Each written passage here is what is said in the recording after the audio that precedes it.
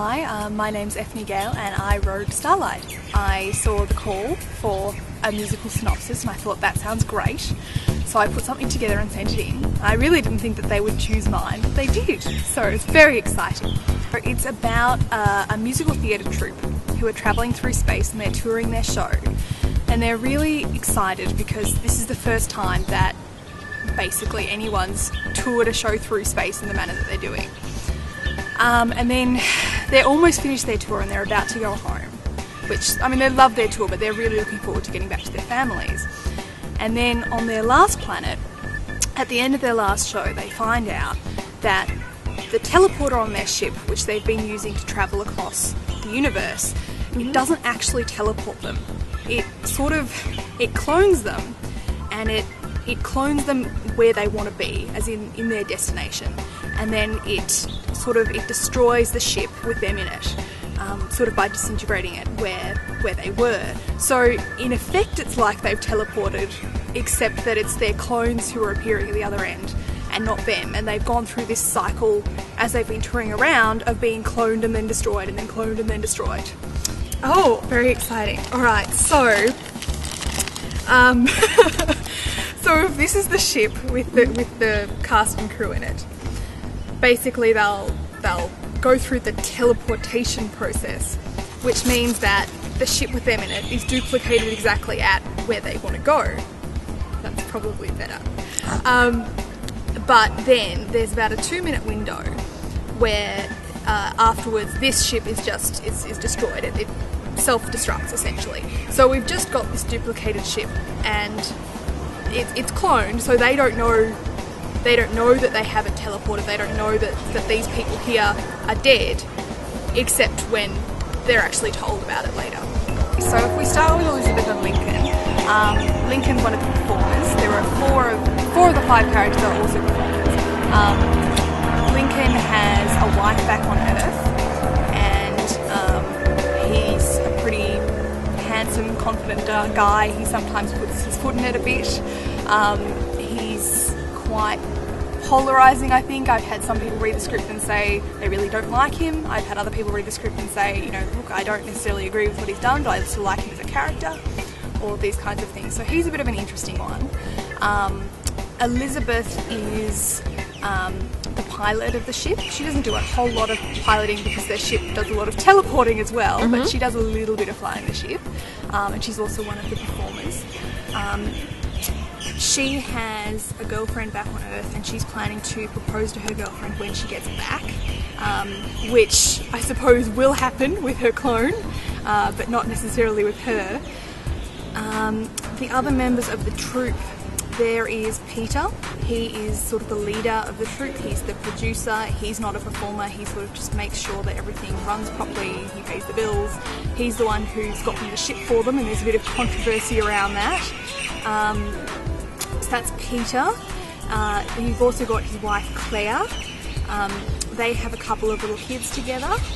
So there's, I don't think they really like leaving their kids back on Earth, but they're, they're really passionate about their, their theatre work. So they've done that for a couple of months. Um, Claire is, um, I sort of describe her as wearing the pants a little bit in the relationship, even though she kind of lets Peter think that he does.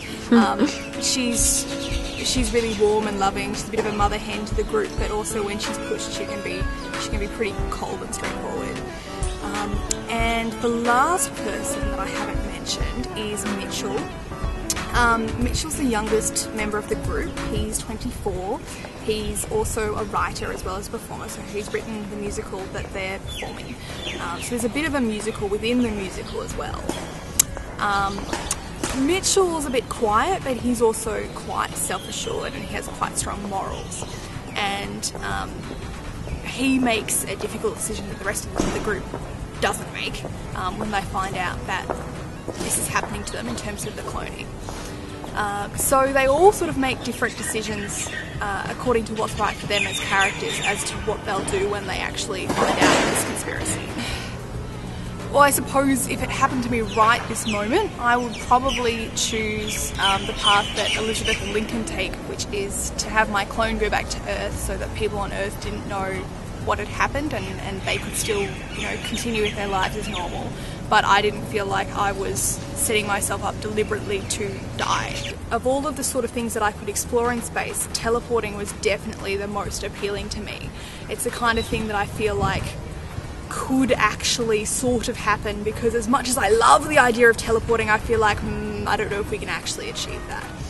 And then on a more emotional level, I suppose the script is really about the concept of home and that and what that means to to the characters in it and what one will do to get home and and how we can achieve that not necessarily as a place but as a person or a feeling or basically the significance of home to, to the people in Starlight.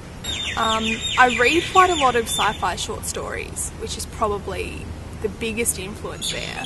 Um, I don't watch a lot of sci-fi and, and things like Doctor Who and Star Trek are things that I'm not really familiar with, but I suppose really character-based sci-fi is, is really what interests me and that's what I've tried to do with Starlight.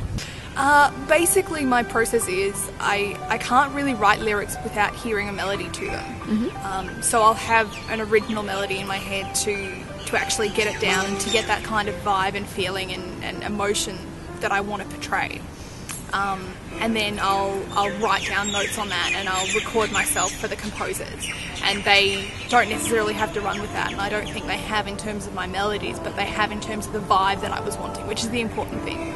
Um, so I've heard a few of the demos, which are sounding amazing so far. And I suppose in terms of musical influences, it's more just really coming from those emotions that I want to get across, um, the emotional states of the characters while they're singing them, which, as far as I've heard so far, has been really great. Yeah. I didn't set out to make a particularly complex story, but I think that there are definitely things in there that people will com- contemplate, thinking, you know, if I was in that situation, what would I choose? Um, and sort of making them consider what home means to them.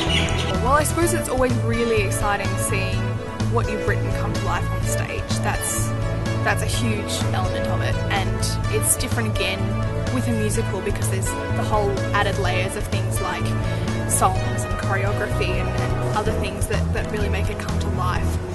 So that's that's a huge part of the appeal for me, and I suppose telling this story, which is not a story that I feel has really been told before. So that's that's a big part of the appeal. And I suppose I don't really know I, what the Rock Opera Company is going to do with it yet. So I, I haven't um, I haven't heard a lot from the director or the cast about what they're going to do. So just that element of because a script is always such a blueprint, and then everyone else actually sort of you know makes the house or whatever it is that we're building. Um, just seeing how how it actually turns out.